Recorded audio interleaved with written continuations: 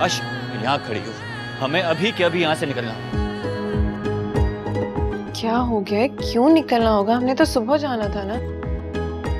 जनाब आपको मेरी बात का यकीन क्यों नहीं आ रहा? वो अपनी मर्ज़ी से गई है। और किसी ने किसी को नहीं मारा। अगर मारा है तो बस। मेरे मुकद्दर ने मुझे मारा। मोरी ये आज किस बात की खुशी मनाई जा रही है? जो मेरी फ़िक्र थी।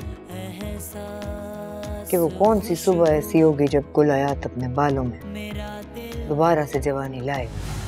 देखिए फना, पीर और मंगल रात आठ बजे। सिर्फ़ ग्रीन एंटरटेनमेंट पर।